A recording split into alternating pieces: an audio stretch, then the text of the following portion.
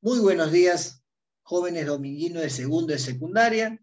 Esta semana trabajamos dos temas fundamentales que este, es parte de la composición química de la materia viva. Parte de la composición química de la materia viva.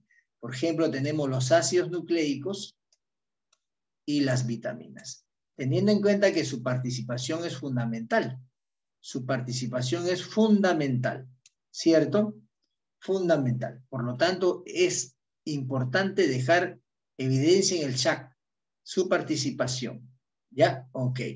Bien, decíamos nosotros que los ácidos nucleicos y las vitaminas son dos temas que cierran el capítulo de la composición química de la materia viva.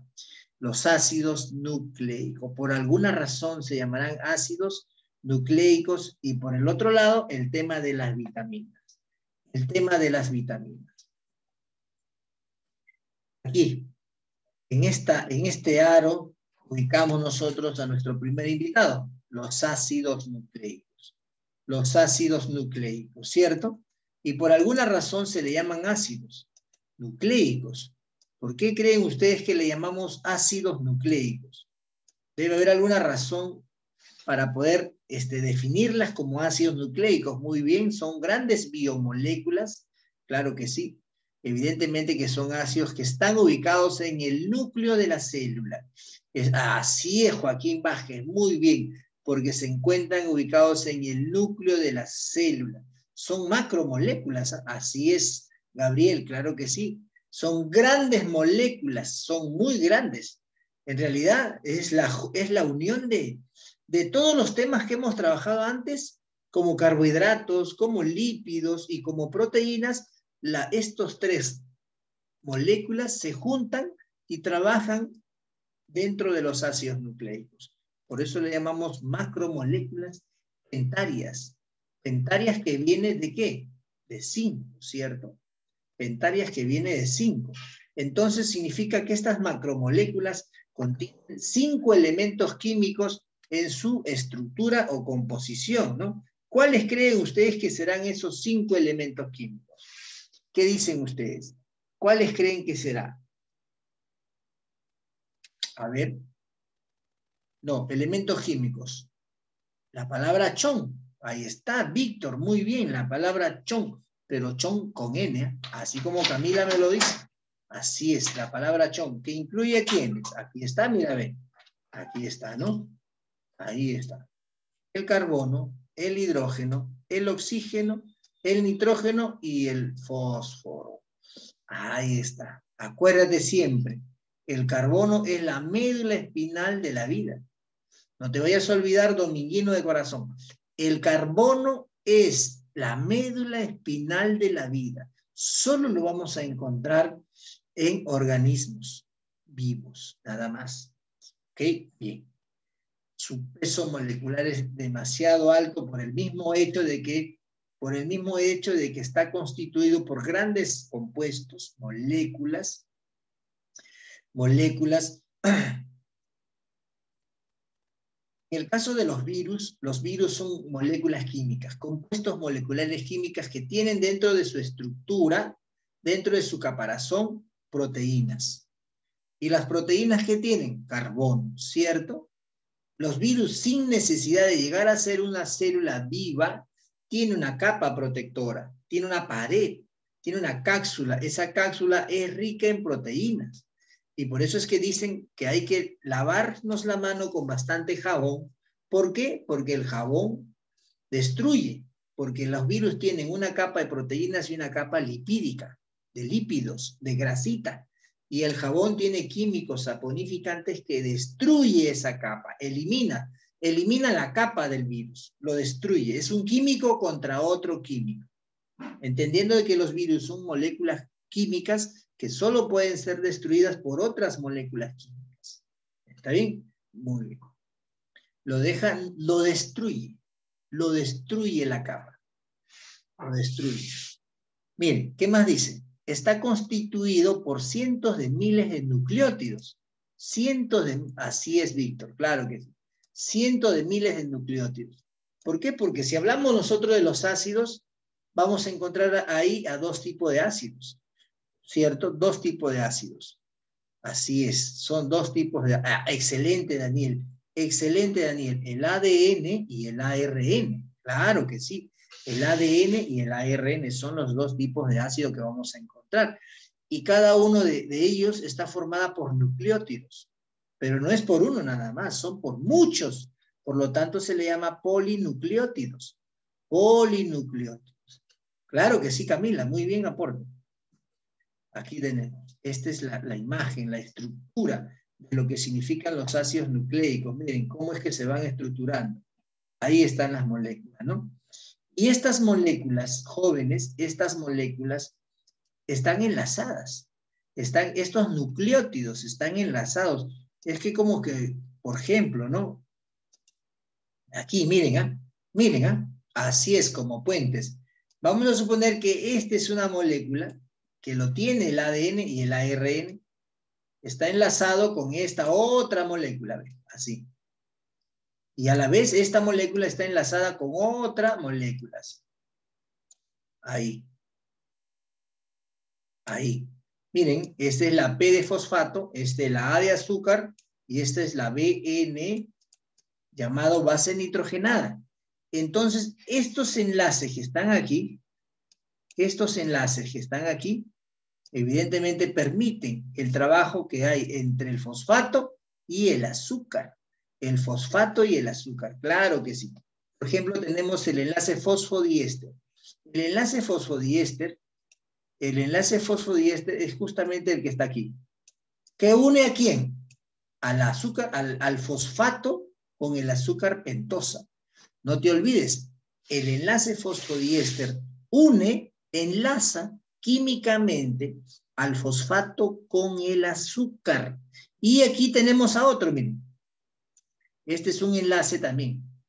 Se llama enlace glucosídico. Enlace glucosídico. Que une a quién? Al azúcar con la base nitrogenada. No te vayas a olvidar. Ahí tenemos la imagen, la imagen que unen a estas moléculas, ¿no? Bien. ¿Qué más tenemos acá? ¿Qué más tenemos acá? ¿Qué más? Vamos por acá. Ahora, la estructura de los nucleótidos.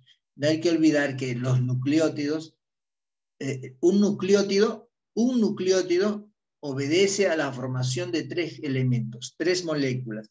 Un lado es este de aquí. Por aquí empezamos con el grupo fosfato. Acuérdate bien, grupo fosfato. Aquí está. ¿Y quién integra el grupo fosfato? El ácido fosfórico el ácido fosfórico, que inclusive lo encontramos en las bebidas gasificadas como las gaseosas, que son grandes destructoras de las proteínas, ¿ya? De las proteínas. Pero bueno, ese es otro tema, ¿cierto? Aquí, fosfato. ¿Cuánto fósforo tiene aquí esta molécula? ¿Cuántos fósforos tiene esta molécula? A ver, ¿qué dicen ustedes? U, no, ¿cuántos, cuántos fósforos? Hay un solo fósforo, yo veo aquí uno nada más. Uno, muy bien. Un solo fósforo, ¿cierto? Un solo fósforo. Ahí está. Muy bien. Un solo fósforo tiene. ¿Cuántos hidrógenos? Tres, claro que sí. Uno, dos, tres. ¿Y cuántos oxígenos?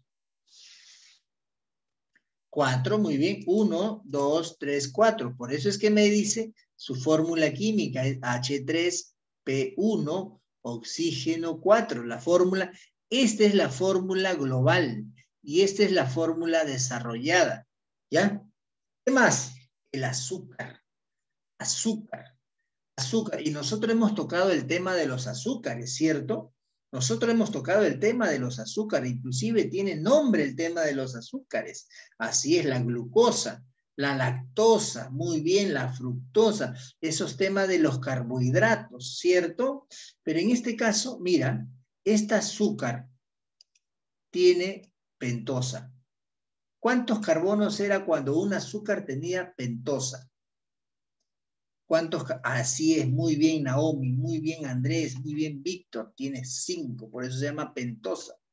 Y el ADN como el ARN tienen su azúcar tienen su azúcar. Observamos acá, miren. Aquí está.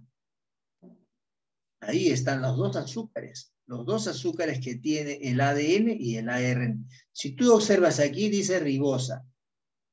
Si tú observas en el otro extremo, dice desoxirribosa. La ribosa es el azúcar del ARN, del ARN. Acuérdate bien, acuérdate bien. El ARN tiene una azúcar pentosa que se llama ribosa. En cambio, el ADN se llama desoxirribosa. Desoxirribosa. Ahí está. Desoxirribosa. No te vayas a olvidar.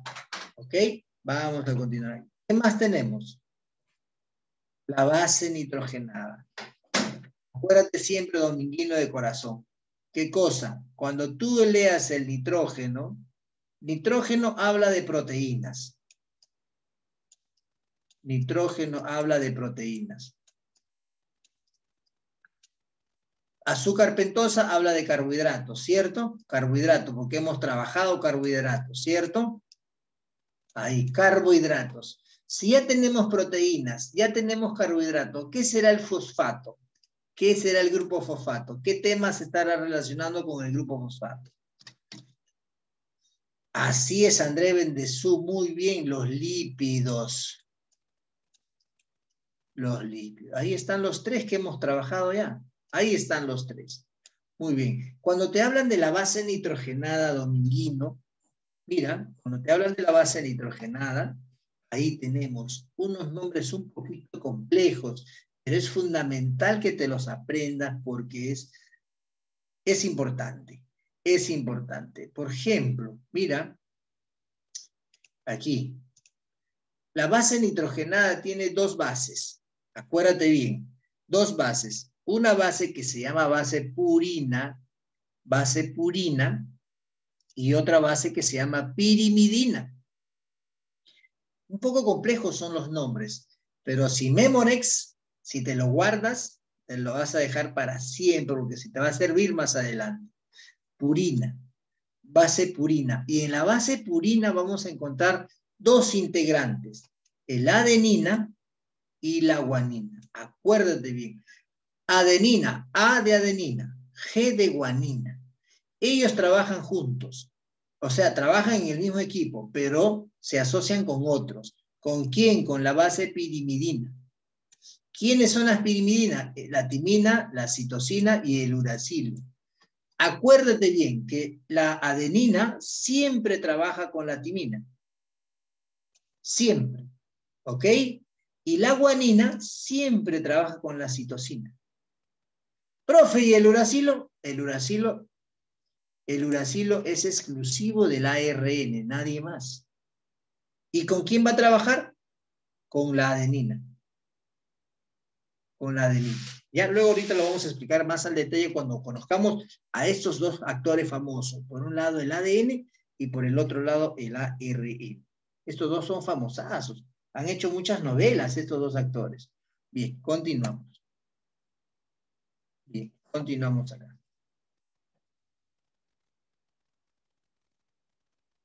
Vamos a ponernos un poquito más acá. Ahí está el ADN. Ahí está el ADN. Ahí está. Como ustedes saben, doble hélice, doble hélice, como vemos acá, doble hélice. ¿Cierto? Doble hélice. Ahí está, la doble hélice. Doble hélice significa que es una doble cadena. No te vayas a olvidar. Profesor, ¿el ADN es una doble cadena? Sí. Profesor, ¿el ADN está enroscado? Sí. ¿Ok? No te me vayas a olvidar, joven. No te me vayas a confundir. Si no, te voy a agarrar de aquí. Un jalón de patía virtual. Miren, ADN. Ácido ribonucleico. El ácido ribonucleico. No te olvides. Ácido de desoxirribonucleico. Así es, Víctor, muy bien. Almacena la información hereditaria. Todo está guardado en tu ADN. Y tu ADN está en los genes. Y tus genes están en tus cromosomas. Y tus cromosomas están en el núcleo de tus células. Significa que cada célula que tú tienes está teniendo información importantísima de tu genética de tu genética. Por eso es que ustedes se parecen mucho a sus padres, ¿no? Posiblemente hayan dicho, ah, cuando haya venido la tía o el tío a visitar, esos ojitos son de mi hermano. Uy, esa mirada es de mi hermana. Ese gesto que tú tienes te lo ha sacado a tu padre. Esas cositas son genéticas. Son genéticas, ¿no? Eso. Inclusive a veces cuando viene el abuelo o la abuela rebusca, ese lunar lo tiene mi hijo. Ah, entonces sí eres. ¿No? Ahí, ¿no? Ese lunar lo tuvo mi abuela, lo tienes tú y lo tendrán tus hijos, porque ese es un lunar que ha ido contra el tiempo a través del tiempo y tú lo tienes, ese es mi. Vamos a comprarte un Kentucky. Ahí, ¿no? Bien, ¿qué más tiene? Ah? Transfiere la información de generación en generación. Por eso es tan importante el ADN, porque ahí está guardado, el, ahí está almacenado. No te olvides, el ADN almacena, guarda tu información genética. Ese es su trabajo, guardar la información genética que tú lo has recibido de tus padres y que posteriormente tú vas a transferir esa información genética a tus hijos también, para que tus hijos también se parezcan a ti, porque es lo más maravilloso que tus hijos se parezcan a ti, ¿no? Inclusive en las vocecitas se parecen, hasta en la forma de caminar y bailar y todo, hasta de la forma de correr se parecen, ¿no? Y ahí está lo que se transfiere. Además, como ustedes saben, chicos, la especie humana tiene 23 pares de cromosomas. Papá en sus espermatozoides envía 23 cromosomas. Mamá en su óvulo envía 23 cromosomas. Se juntan estos 23 del padre con el 23 de la madre, se forma un juego cromosómico que va a ser del hijo. Pero en ese juego cromosómico, en cada cromosoma hay muchos genes que amplían las probabilidades de que la evolución mejore y cambie constantemente. Así es, Víctor, tenemos 46 cromosomas. 46 cromosomas, o 23, o 23 pares, como dice, ¿no? O 23 pares. Esa es la genética. Y ahí cae de lleno el ADN. Cae de lleno el ADN. ¿Y qué cosa tiene el ADN? No te olvides, ¿ah? es una doble hélice, como lo vemos acá, ¿cierto? Es una doble hélice, como lo vemos acá. Así es. ¿Y qué es lo que contiene? Mira, el ácido fosfórico. El ácido fosfórico es universal, tanto para los dos, ¿ok? ¿Qué más? La pentosa. ¿Cómo se llama el azúcar pentosa del ADN? ¿Cómo se llama el azúcar pentosa del ADN? Nosotros le hemos indicado ahí azúcar, el azúcar pentosa, el ADN y el ARN, cada uno tiene su azúcar, ¿cierto? Muy bien, ahí está. Excelente, Daniel, la desoxirribosa. Ahí está, la desoxirribosa, igual que Natalie, muy bien, Natalie. Pero también tiene su base nitrogenada, ¿cierto? También tiene su base nitrogenada. ¿Qué elementos están formando parte de la base nitrogenada? Miren, ahí está. La adenina, aquí está la adenina, acuérdate bien, la guanina, la citosina y la timina. La timina es exclusivo, es exclusivo. No te vayas a olvidar, es exclusivo del ADN. Es exclusivo del ADN. Bien, chicos, aquí tenemos, por ejemplo, el ARN. Fundamental el ARN a partir desde el, a partir de, por ejemplo, saber hasta el significado de su nombre. ¿Cierto? Hasta el significado de su nombre nos ayuda. El ácido ribonucleico. El amigo, el amigo ARN es fundamental para el trabajo exitoso de la transferencia de la información genética. Siempre el ARN va a estar en el núcleo. Su trabajo inicial va a ser ahí en el núcleo. No te olvides, el trabajo del ARN siempre va a empezar en el núcleo. El ARN. Ah, claro que sí, Camila, sí. Bien. Aquí está el, el ARN y algo que tenemos que diferenciar con respecto al ADN, muchachos. Miren, ¿eh? si usted observa aquí, si usted observa aquí, usted observa aquí esta imagen también del ARN. Ahí está, Víctor, muy bien. Es una sola cadena, ahí, es una sola cadena. El ARN es una cadena simple, ¿cierto? Es una sola cadena. En cambio, el ADN El ADN no. Miren, el ADN era una doble cadena, ¿cierto? Así como lo ven ustedes acá, tanta diferencia, ¿cierto? Doble y simple. Pero ahora estamos trabajando con este actor maravilloso que es el ARN. El ARN.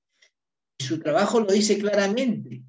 Su trabajo, como dice Camila, excelente, dice claramente acá, profesor, el trabajo fundamental del ARN es copiar. ¿Copiar qué cosa? La información. Información que está guardado ¿dónde? ¿Dónde está guardado la información que copia el ARN? A ver, ¿de dónde saca? Excelente, muy bien Daniel, muy bien Camila, excelente. En el ADN, en el ADN que está dentro del núcleo, como me dice Daniel. Vargas, ¿cierto? Copia la información. Muy bien. ¿Qué más? Aquí está. Realiza la síntesis de proteínas. Realiza la síntesis de proteínas. ¿Significa qué cosa? Que hay... Ay, ay, ay, muy bien, Andrés Bendezú. Su principal función es, uno, copiar la información. No te olvides, copiar información. Dos, traducir la información. Traducir. Tres, sintetizar las proteínas. Sintetizar las proteínas. Por eso Camila me dice, profe, hay tres ARN. Hay tres ARN. ¿Por qué? Porque cada ARN es como una carrera de postas. Cada ARN es como un atleta que va a trabajar en postas, en intervalos, ahí. ¿Cuál es la finalidad? Sacar la información que está en el ADN. Ahora, la estructura propia del ARN es el ácido fosfórico. El ácido fosfórico es general para los dos. Tanto para el ADN como para el ARN es igual. En el caso de la pentosa, ¿cómo se llama la pentosa? Así es, Gabriel. ¿Cómo se llama la pentosa? El azúcar pentosa de la ARN. Muy bien, Daniel Vargas. Muy bien, Daniel Vargas, claro que sí. La ribosa, profesor, la ribosa, igual que a Natalie Romero. La ribosa, muy bien. Ahí está. Ahí está el azúcar. El azúcar pentosa de la ARN se llama ribosa. Ribosa. Ahí está la fórmula pero también tiene una base nitrogenada, ¿cierto? También tiene una base nitrogenada. Y en esa base hay cuatro elementos fundamentales, cuatro, ¿cierto? Ahí están estos cuatro. Ahí están. Ahí falta un elemento. Así es, Naomi Castro, muy bien. Cuatro menos la timina, igual que Víctor, muy bien. La timina no está. Porque recuerden que yo les decía que la timina es exclusiva del ADN, del ADN, ¿cierto? Pero profesor, usted nos dijo que eh, cuando trabajan, la adenina trabaja con la timina, pero aquí no está timina. Entonces, ¿quién lo va a reemplazar a la timina? ¿Quién reemplazaría para que trabaje con la adenina? Excelente, Naomi, excelente este, Víctor, excelente, Joaquín, muy bien. Siempre entonces ahora va a trabajar la adenina con el uracilo y la guanina siempre con la citosina. Siempre, siempre, siempre. ¿Está bien? Aquí está. Vamos a continuar. Vamos a continuar acá los tipos de ARN que me manifestaba hace un momento atrás su compañera. Miren, aquí tenemos. Importante que usted sepa los tres ARNs. El ARN mensajero. El ARN mensajero es el iniciador de la carrera. Él es el responsable de iniciar la carrera, de sacar la información. El ARN mensajero forma el codón. ¿Ya? El codón. ¿Dónde trabaja el ARN mensajero? ¿Dónde? En el núcleo. Acuérdate bien, el ARN mensajero inicia su carrera en el núcleo y lo saca hacia dónde? Hacia el citoplasma. Lo saca hacia el citoplasma. ¿Qué saca? ¿Qué copia? Aquí está. Copia la información.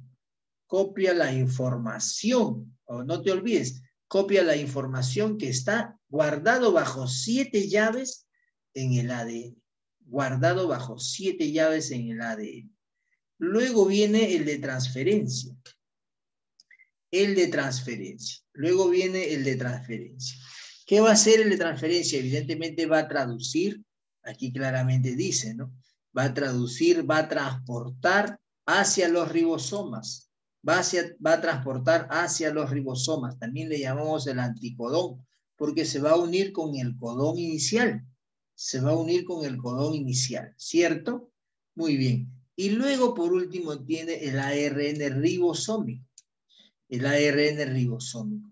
¿Cuál va a ser su trabajo de él? Va a interpretar todo, va a interpretar todo lo que tiene el codón y el anticodón. ¿Y qué es lo que va a hacer? Va a empezar a sintetizar, va a empezar a sintetizar las proteínas que se van a utilizar. Por eso dice claramente acá, ve, el ARN ribosómico va a traducir lo que dice el codón con el anticodón. ¿Entiendes? Una vez que lo sintetiza, va a formar las proteínas que necesita para poder formar el nuevo ADN. El nuevo ADN. Y así es donde ellos trabajan en, en competencias, en bloques paralelos, uno después del otro. Uno después del otro. ¿Qué más tenemos? Las vitaminas, jóvenes, las vitaminas indispensables para nuestro sistema inmunológico. No te olvides, indispensable para tu sistema inmunológico, tu mecanismo de defensa, para que tú estés ahí lleno de, de, defensas que te protegen sobre las enfermedades. Enfermedades que en estos tiempos también empiezan como la influenza, ¿cierto? Las enfermedades propias de, del frío, del invierno, propias del invierno. ¿Ya? Aquí. Las vitaminas son compuestos heterogéneos, son muy diferentes en mínimas cantidades, pero son diferentes, su origen. ¿Ya? Aquí están las vitaminas, indispensables para todo. No tienen valor energético, es decir, las vitaminas no sirven para nutrirse, no sirven para nutrirse, más que para nutrirse, sirven para desarrollar tu sistema de defensa. Tu sistema de defensa, ¿ok? Las verduras y las frutas, las verduras y las frutas no te van a dar valor energético, como te da quién? Los carbohidratos, como te da quién? Las proteínas, como te da quién? Los lípidos. Recuerda bien que un gramo de carbohidrato o un gramo de proteínas te da 4 kilocalorías. Y un gramo de grasa te da cuántas calorías. Así es, Víctor, muy bien, 9 kilocalorías. Entonces, mira, ellas sí son energéticas, pero en el caso de las vitaminas que están considerando las frutas y las verduras, son casi cero en calorías, excepto frutas que sean de sabor dulce, excepto frutas y verduras que sean de sabor dulce, su nivel de caloría sube un poquito. ¿Ok? Bien. Son sintetizados por el organismo, evidentemente, su dieta, su ingesta es directamente, inclusive a veces hasta el sol nos proporciona cierta cantidad, sí, claro que sí, hasta el sol nos proporciona cierta cantidad de vitamina D, la, la, exposición un poco al sol, que ahora ya no ha salido, muy tarde la noticia, este, eh, nos proporciona cierta cantidad de vitamina D directamente para la piel, directamente para la piel, para nuestras células llamadas las melaninas o los melanocitos. Son imprescindibles, si no vamos a tener una vida, de, una vida con baja calidad, una vida llena de problemas de salud, porque nuestro sistema de defensa está muy vulnerable muy vulnerable. Es, es indispensable que ustedes, bueno, desde pequeños, ¿no?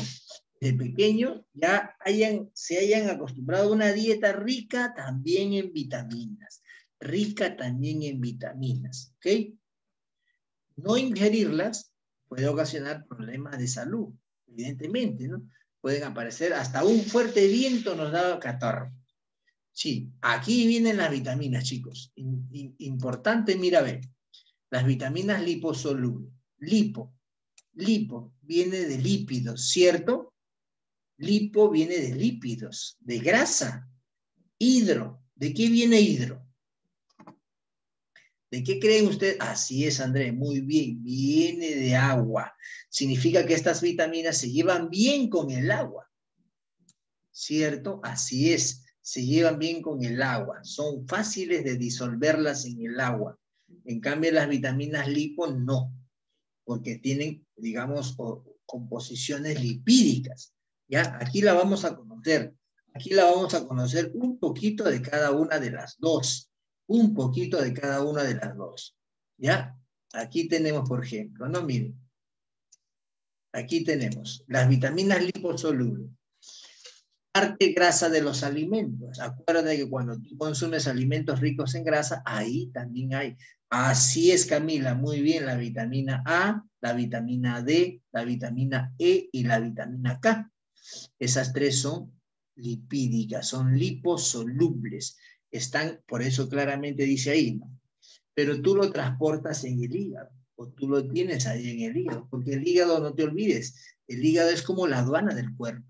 Es el responsable de sintetizar, identificar todos los compuestos orgánicos que tú consumes en los alimentos, sean buenos o malos. Por eso es que el hígado siempre está lleno de ciertas toxinas, productos del mismo trabajo. Y hay que depurar todo eso, ¿no? Se transportan a través de proteínas, porque como son lipídicas, normalmente se pegan en la piel de los intestinos, pero cuando se junta con una proteína se forma una lipoproteína. Y ahí es donde se transporta, se transporta. ¿En dónde se transporta? En la sangre. Se transporta en el torrente sanguíneo. En el torrente sanguíneo como lo vemos en la imagen, ¿cierto? Como lo vemos en la imagen. Bien. Dentro de estas vitaminas lipo tenemos la vitamina A. La vitamina A llamada la retinol, ¿cierto? Retinol. Aquí está claramente la vitamina retinol, ¿cierto? Retina de la vista, la retina. Ahí está, ojos, piel, mucosas, glándulas germinativas. Ahí está claramente en dónde es que trabaja. ¿Dónde lo vamos a encontrar básicamente? ¿Dónde es que lo vamos a encontrar? Espinacas, mamá. Hoy día no te olvides hacerme mi espinaca. Mañana me haces mi brócoli. No te olvides que a tu guiso le eches zanahoria. Cereales, mamá, por favor, cereales, hígado de bacalao, yema de huevo, mamá, no te olvides. Esos son más o menos fuentes de vitamina A. Claro, la leche también, evidentemente. Si no somos grandes consumidores de ciertas frutas y verduras o alimentos que tengan estos suplementos, evidentemente voy a tener trastornos metabólicos trastornos metabólicos que va desde ceguera nocturna, problemas de visión por la noche, trastornos de crecimiento, te vas a quedar chaparro, trastorno de crecimiento, piel seca, tu piel áspera, áspera, muy áspera, la piel seca, porque no hay estos alimentos, porque no te olvides que son ricos en lípidos, en grasita propia, ¿cierto? Y caries, pues las caries dentales, ¿no? Te está cepillando y ya te está saliendo inclusive las, heridas, la sangre y todo eso por, por, por este, las sencillas, ¿no? Así más o nada más, pero mejor es que veas bien tomando tus, tu leche, tu huevo sancochado, tu espinaca, tu, tu espinaca licuada, es riquichichísimo, ¿cierto? Así, eso es con la vitamina C. Bien, continuamos acá. Bien, vamos a ver con la otra vitamina. La vitamina D, conocida como la antirraquítica, miren, la antirraquítica, la vitamina D, antirraquítica. Es esencial, como dice claramente acá, para tus huesos y tener estos dientes sanos y no se te esté cayendo, muchacho, nada más. Así es, si no vas a estar chimuelo, si no vas a estar chimuelo. Así es, para tus huesos, tus dientes, ¿no? Ahí, Ah, está, porque los huesos almacenan ciertos minerales, ciertos minerales y que después de cierta edad, lamentablemente se tienen que ir diluyendo, gastando y todo lo demás por, por propio metabolismo del cuerpo. ¿no? ¿Dónde lo vamos a encontrar? Verduras. No te olvides de comer tus verduras. No te olvides de comer tus verduras, tomar tu lechecita, comer tu pescado. Batido, claro que sí. No, pero tienen que echarle, cuando hacen batido del, huevo, batido, hay que echarle una media onza de pisco para la mayoría de, para varias familias, ahí, una media oncita de pisco y ahí queda. Es muy, y es muy bueno para, para, para el sistema inmunológico. Inclusive rayos solares, así aquí están, miren, rayos solares. No te olvides de comer tus vegetales, muy bueno muchachos, para prevenir y para desarrollar nuestro sistema inmunológico. Si no, va a pasar lo que está aquí. Va a pasar lo que está aquí. ¿Cierto? Lo que está claramente acá. Rajitismo, osteomalacia para ustedes los niños y osteoporosis para los adultos. Así es. No, nadie dice que vayan a echarse a la playa todo el santo día, no. Una, estar expuesto un poco al sol, caminar un poquito, tomar unos 10, 15, 20 minutos y suficiente con eso, suficiente con eso. Así es, muy bien. La carne es rica, ¿por qué no vas a comer carne? Aquí está. Aquí tenemos el otro bloque de, vitaminas. El otro bloque de vitaminas. En las vitaminas hidrosolubles. Las vitaminas hidrosolubles. Ah, siempre, el agua es fundamental. El agua es el complemento de todo. Si tú quieres tener una buena digestión, primero tu vasito de agua. Y luego, final, tu poco de agua. Para dormir, tu vaso de agua. Cuando te levantas, te enjuagas la boca y tu vaso de agua. Ahí está. El agua es vida, como dice Joyce Pérez. Vitaminas hidrosolubles. Hablando de agua, ahí está las vitaminas hidrosolubles. Muy bien, Camila. Ahí vamos a encontrar a la vitamina B y a la vitamina C, ¿cierto? Y que ahora la B ya es un complejo B. Es un complejo B. No se almacena en el organismo, en el caso de la vitamina B12, su paso a la sangre no necesita transportador, porque como es una vitamina muy ligera, muy ligera, claro que sí, se disuelve fácilmente, ¿no? Se disuelve fácilmente. Sus dosis son, eh, eso es lo más común que consumimos, ¿no? Y lo que ya no se puede, se va y se orina. Ah, va, se diluye en la orina, se, pasa por ahí, ¿no? Depende, depende mucho de, de, de, qué es lo que vaya a hacer. ¿no? Vaya a hacer. Bien acá. Vitaminas hidrosolubles. Vitaminas hidrosolubles. El ácido ascórbico, la vitamina C. El ácido ascórbico, acuérdate bien. Vitamina C, ácido ascórbico. ¿Ok? Eso es lo que ahorita están promocionando mucho, inclusive en estos tiempos cuando ya va a empezar el invierno. Así es, Víctor para prevenir la influenza, la gripe, los malestares de catarro y todo lo demás. Y sobre todo para desarrollar tu sistema inmunológico en estos tiempos de COVID. En estos tiempos de COVID. Están inyectando vitamina, vitamina C. ¿Por qué? Porque son antioxidantes, son limpiadoras. Son limpiadoras de todas tus toxinas que tienes dentro de tus células. Son muy buenas las vitaminas C es como los recogedores de toxinas, los recogedores de la basurita que uno tiene en cada uno de nuestras células. Cuando nosotros comemos alimentos pesados, tus células para metabolizarlas se cansan muchísimo. Así es, Joyce. Se cansan muchísimo sintetizar, metabolizar la carne, las menestras. Se cansan muchísimo. Y ese cansancio produce sudor, produce residuos que se llaman toxinas. ¿Cómo vamos a sacarla del cuerpo, de las células? Con vitamina C. Son los limpiadores de todo. Así como mamá, mamá es la vitamina C de la casa, limpia todo, ¿cierto? Así es, igualito a la vitamina C. Muy bien, tiene, por eso dice claramente acá. Claramente me dice acá, tiene antioxidante tiene antioxidante, conforma células, tejidos, muy bien, ¿ah? ahí está claramente, ¿no? Formación del colágeno, indispensable para tu piel, conforma y desarrolla el colágeno para tener tu piel brillosa, sana, fuerte. desarrolla tu sistema inmunológico, por eso lo están promocionando en estos tiempos. La vitamina C, todo lo que es cítrico, aquí está, frutas cítricas, tu tomatito que es bueno para tu corazoncito, el ají, las hojitas verdes, ahí están la vitamina C, la naranja, muy bien, en la toronja, la mandarina, ¿no? Ahora, si somos bajos en eso, en el consumo de vitaminas, el escorbuto. El escorbuto, la caída de los dientes, los trastornos digestivos, están muy vinculados con ausencia, con deficiencia, deficiencia de vitamina, de vitamina C. Ahí está, miren, ahí está.